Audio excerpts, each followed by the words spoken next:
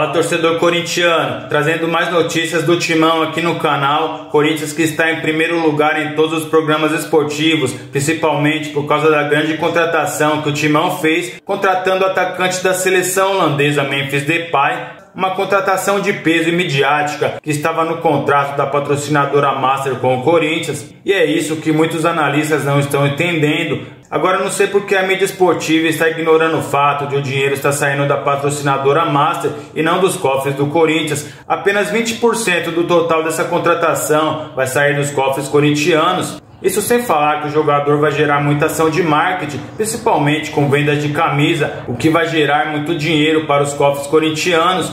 E até quem sabe nas vendas de camisa ações de marketing irá superar os 20% que o Corinthians teria que colocar no bolso para concluir a contratação Vamos trazer aqui algumas atualizações do Corinthians essa segunda-feira. O Corinthians está prestes a concretizar a contratação de Memphis Depay. Segundo as informações, o atacante passou com sucesso pelos exames médicos realizados nesse domingo lá na Holanda.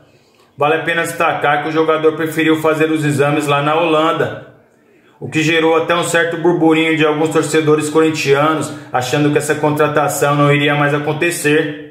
O Memphis optou por realizar os exames em Eindhoven, sua cidade natal, antes de seguir para o Brasil, onde assinará o contrato com o Corinthians. Com aprovação nos exames, ele é esperado em São Paulo nos próximos dias para formalizar o acordo com o clube. Livre no mercado após o término do seu contrato com o Atlético de Madrid, Memphis já tem tudo acertado com o Corinthians. É importante destacar que o jogador prefere ser chamado de Memphis e não de Depay.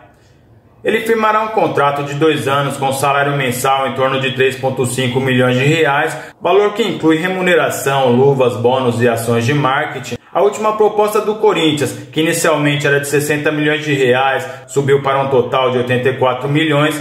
Aí seriam aqueles 20% que a gente falou que o Corinthians vai ter que completar, né? A patrocinadora Master contribuirá com 57 milhões, enquanto o clube arcará com 27 milhões, contando com uma parte dos lucros gerado por ações de marketing envolvendo o Memphis.